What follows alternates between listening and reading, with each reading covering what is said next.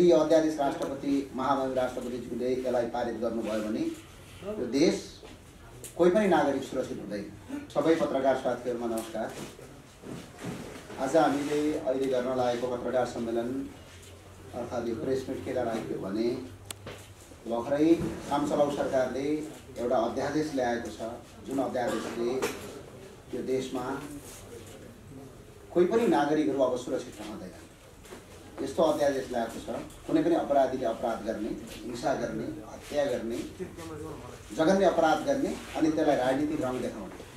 अनि राजनीतिक रङ देखाएर त्यसलाई चाहिँ उन्मुक्ति दिलाउने। यदि यो अध्यादेश पारित भयो र यदि यो अध्यादेश राष्ट्रपति महामहिम राष्ट्रपतिज्यूले यसलाई पारित गर्नुभयो भने यो देश कोही पनि नागरिक सुरक्षित हुँदैन।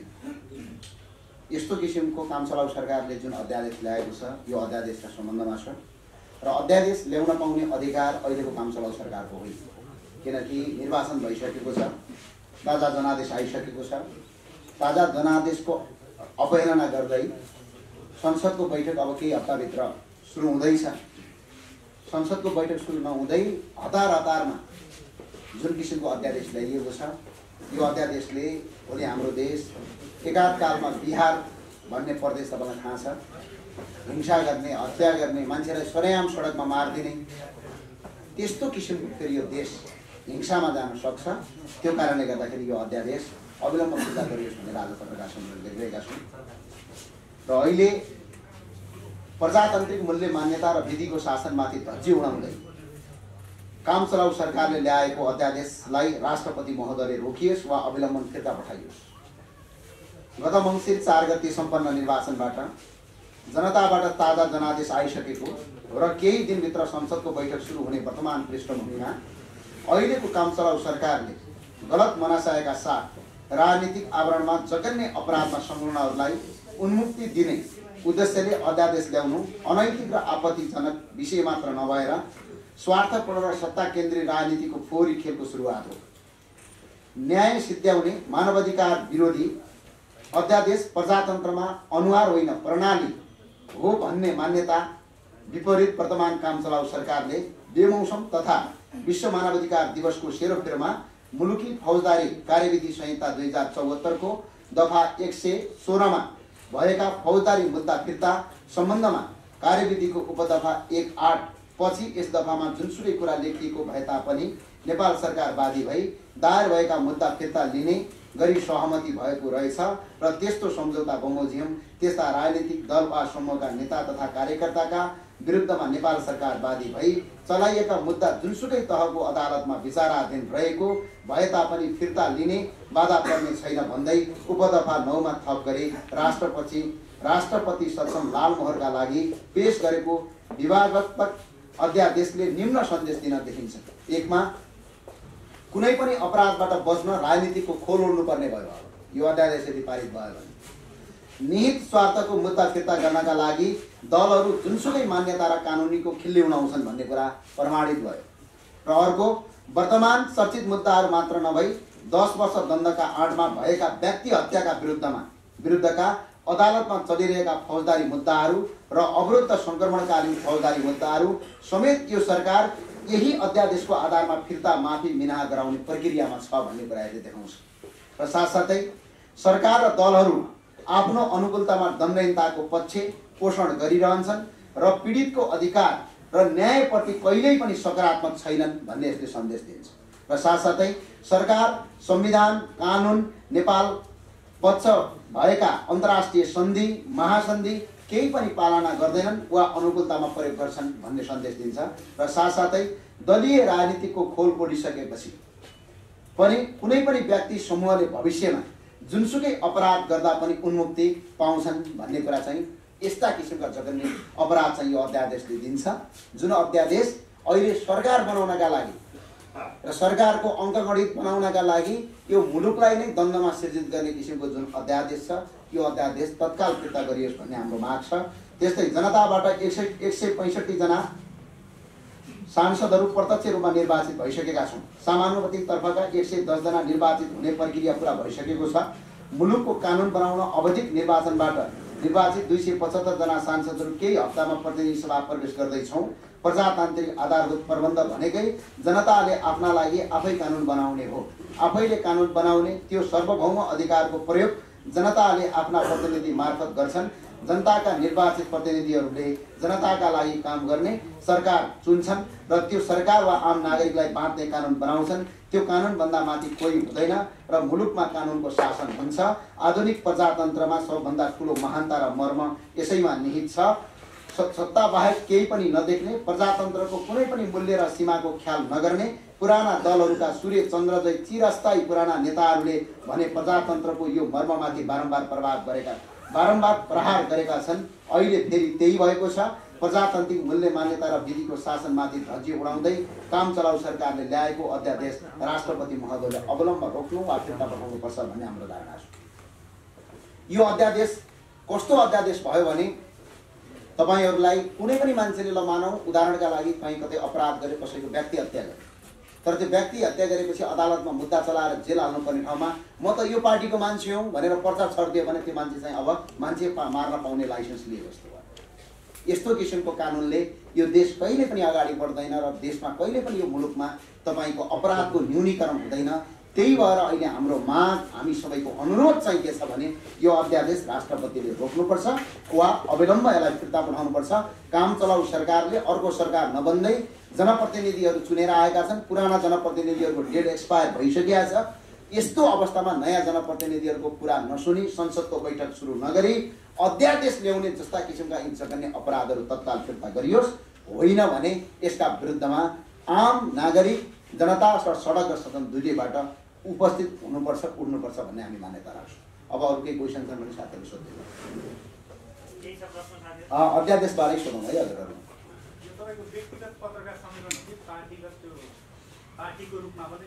पार्टीको रूपमा पनि हो र हिजो म एउटा प्रवक्ता पनि हो पार्टीको र हामीले हिजो पार्टीको तर्फबाट हामीले एउटा विज्ञप्ति निकालिसकेका छौँ। र यो अहिले तपाईँको के हो भने हरेक सांसदले नवनिर्वाचित सांसदले यो अध्यादेशको बारेमा हरेक नागरिकको चाहिँ के हो भने अहिले यो अध्यादेशलाई अध्ययन गर्ने र यो अध्यादेश सही छ या गलत छ भनेर नागरिकको बुझ्न पाउने अधिकार छ। त्यही अनुरूप सबैले यसलाई पढ्दिनँ र यसका बारेमा तपाईँको फिर्ता र अविलम्बन रोक्नका लागि राष्ट्रपति सक्षम सबैले आवाज उठाउन आवश्यक छ। तपाईँले भन्नुहुन्थ्यो सत्र हजारको हत्याराहरू खुलेआम हिँडिरहेका छन् भनेर। अनि कोही चाहिँ राजनीतिको शिखर स्थानमा पुग्ने तिनै व्यक्तिहरू तपाईँले भने जस्तै व्यक्तिहरू कोही चाहिँ जेलभित्र सडेर बस्नुपर्ने राजनीतिक विचारले आन्दोलन गरेका हिजो राजनीतिक विचारमा चाहिँ जुन जुन घटना र क्रियाकलापहरू भए त्यसमा अदालतबाट जेलमा परेकाहरू किन नछुट्ने भन्ने प्रश्न चाहिँ मेरो यो अध्यादेशमा त्यो कहीँ छैन किनभने व्यक्ति हत्याकाण्डमा पक्राउ परेर इलाबाट मान्छे जलाएका मान्छे पनि छोड्ने कार्यविधि भन्दैछ यसमा कहीँ कतै राजनीतिक छैन जुन हिसाबमा तपाईँको बाहिर भनिएको छ राजनीतिक कुरा राजनीतिकले कहिले पनि हत्या गर्नु हुँदैन। चाहे त्यो हिजो गरियो आज यसको मतलब त यो भयो जस्तो भयो नि। अरूले मान्छे मारे मैले पनि मान्छे मार्न पाउनुपर्छ भने जस्तो भयो नि त्यो पाइँदैन केही मान्छेले आज गरेका छन् यसको मतलब यो होइन कि यही फेरि गरिरहन्छन् भन्ने होइन। रेशम चौधरीका सवालमा? भनेर बाहिर नाटक गरिएको छ तर वास्तवमा रेशम चौधरीका सवालमा मात्र होइन। कुनै व्यक्तिका कसैले पनि अपराध गरे पनि त्यो जेल बस्नुपर्छ। यदि मैले भने अपराध गरेँ म पनि जेल मान्छे मार्ने मुद्दा कुनै पनि राजनीति हुँदैन। राजनीति भनेको संसारमै के हो भने मान्छे मारेर राजनीति गर्नु हुँदैन भन्ने प्रजातन्त्रमा हामीले विश्वास गर्नुपर्छ।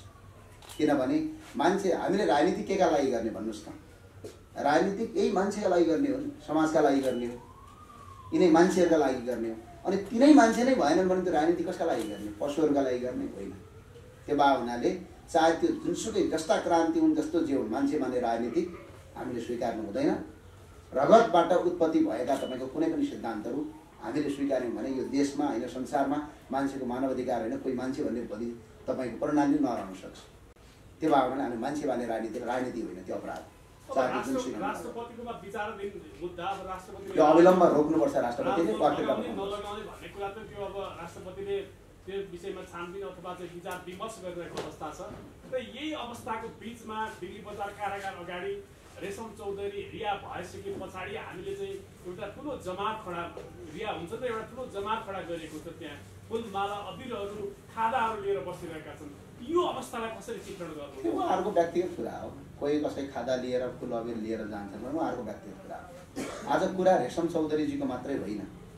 रेशम चौधरीजीलाई त एउटा मरा रेशम चौधरीजीलाई त न्याय दिने त कानुन त अरू पनि त आधार छन्।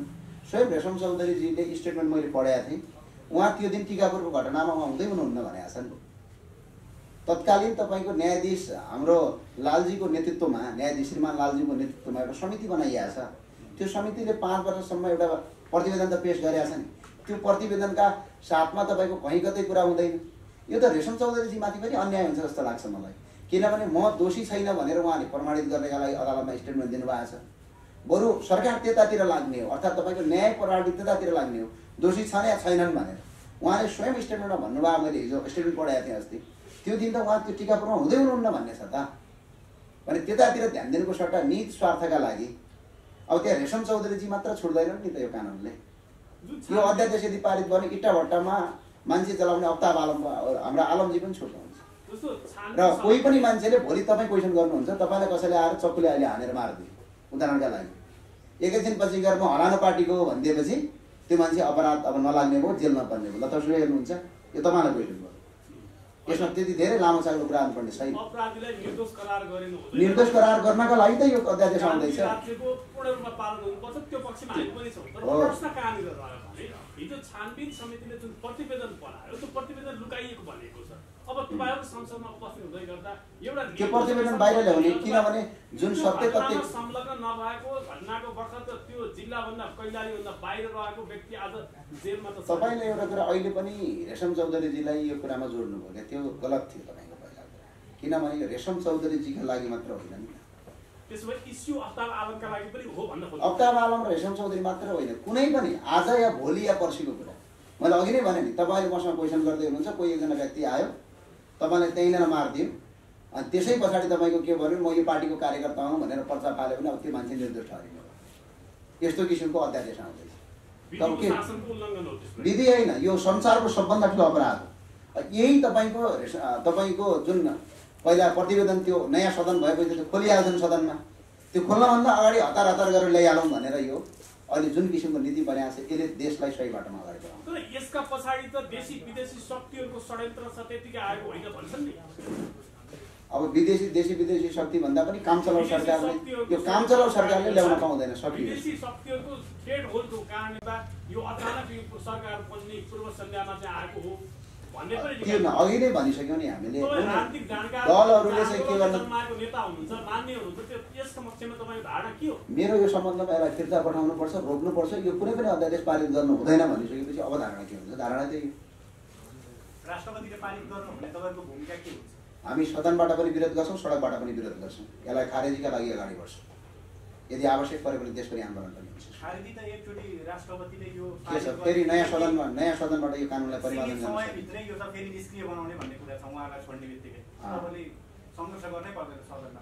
होइन त्यो अपराधको कुरामा तपाईँको कसैलाई आज कानुन पनि एकैछिनमा गर्ने दुई दिनमा गर्ने भन्ने हुँदैन। नीति एकपटक लागु भएपछि सबैलाई लागु हुनुपर्छ।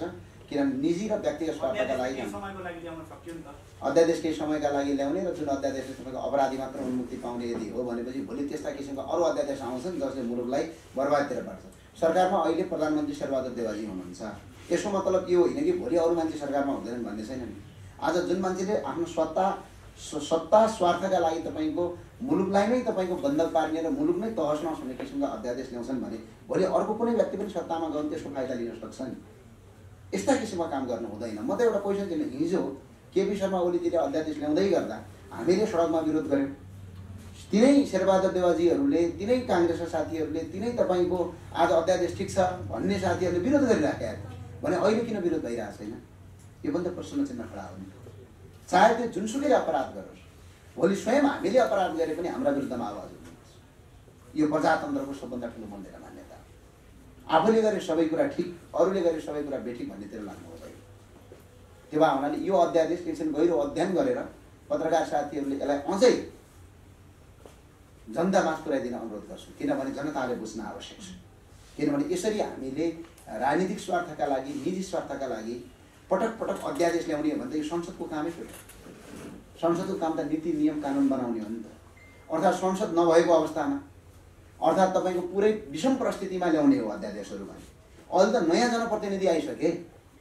अहिले नयाँ प्रतिनिधि चयन भइसक्यो तर भन्नेहरू भन्छन् नि अहिले सरकार निर्माण गर्नका लागि विषम परिस्थिति होइन सरकार उहाँहरूको बन्दैन भने त बन्दैन त के फरक पर्छ? त्यो जनताले उहाँलाई जनमतै दिनु भएन भनेपछि त्यसलाई स्वीकार्ने। जस्तै हामीले स्वीकारेका छौँ नि जनताको जनमत हामीलाई अहिले सरकार नबनाऊ भनेर पठाएको छन् हामी सरकार बनाउने र उ गर्ने खेलमै छैन। अब सरकारले अहिले उहाँलाई जनमत दिनु भएन दुई त्यहाँ एक त्यहाँ पुर्याउनु उहाँको बहुमत भएन। अनि बहुमत भएन भन्दैमा सरकार बनाउनको लागि जे पनि गरिदिने।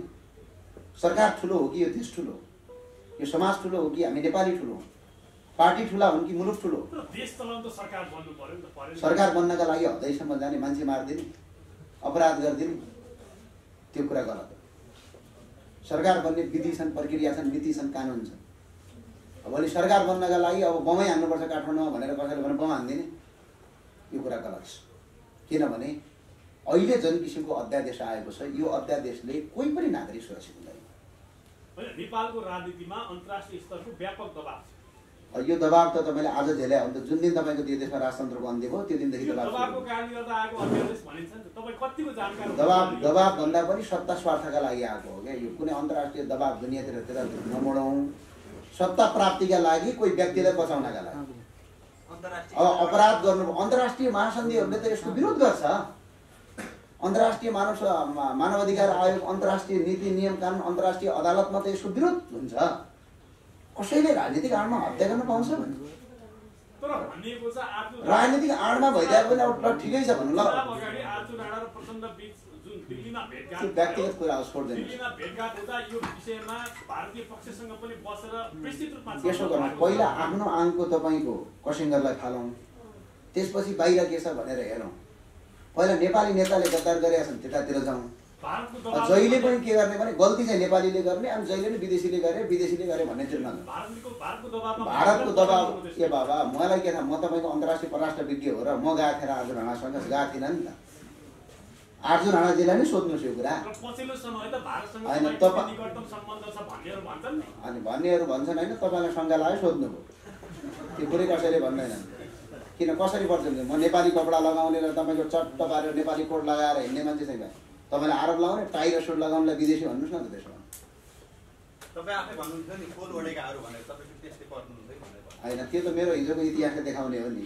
तपाईँहरूले इतिहासै पढ्नु भएको छ त। आँखाले देख्नु भएको छ पढ्नुभन्दा पनि। किनभने हिजो जुन सङ्घर्षका साथ आइएको थियो त्यो सङ्घर्ष रोकिँदैन अहिले बढी यो अध्यादेश खुरुक्क राष्ट्रपतिले रोक्नुपर्छ र यसलाई फिर्ता बनाउनुपर्छ। योभन्दा अर्को कुनै उपाय छैन। मुलुक यदि साँच्चै बचाउने तपाईँहरू सरकारमा नजाने भए साँच्चै। नजाने भनेर एउटा पार्टीको प्रवक्ताले भनिसकेपछि तपाईँले नजाने भनेर सम्झिनुहोस् न। चुनाव लड्ने जनताबाट म्यान्डेट लिएर आउने जनप्रतिनिधि त सत्तामा जानु होइन। होइन। सत्तामा जानका लागि मात्र जनताबाट आउने नि नीति नियम कानुन तर्जुमाहरू राष्ट्रको हितमा काम गर्नका लागि हो। सत्तामा नगएर पनि काम गर्न सकिन्छ। जस्तो अहिले यो अध्यादेश आयो नि यसलाई सदनबाट हामीले रोक्न सकिदियौँ। या अहिले जुन कुरा गलत भएको छ यसलाई हामीले जनाइदियौँ भने काम त यही हो नि। अब यसका लागि सत्तैमै जानुपर्छ भन्ने छ र तपाईँहरूको अलिकति यसमा पनि सत्तामै काम सेवा गर्नका लागि सत्तै चाहिन्छ भन्ने छैन काम गर्नका लागि सत्तै चाहिन्छ भन्ने छैन र काम गर्नका लागि संसदै हुनुपर्छ भन्ने पनि छैन त्यसो भए फरक यति मात्रै भयो माइती घरबाट संसद भवनभित्र तपाईँ प्रवेश गर्नुभयो त्यहाँभन्दा उपरान्त अब केही परिवर्तन आउनेवाला छैन यो तपाईँलाई लाग्छ यदि परिवर्तन नआउने भइदियो अहिले यो अध्यादेश तपाईँको फिर्ता पठाउनका लागि हामीले किन यत्रो बोल्नु पर्यो यसलाई पनि परिवर्तन सम्झिनुहोस् न निराशा नहुनुहोस् आशा गर्नुहोस् भरोसा गर्नुभएको छ अब आशा गर्नुहोस् काम गरेर ढुङ्गा राष्ट्र- राष्ट्रघातको लागि कुनै पनि हालतमा तपाईँको सदनमा निधाएर बसिँदैन। र दह्रो प्रतिपक्ष भएर उभिन्छ। हस् धन्यवाद।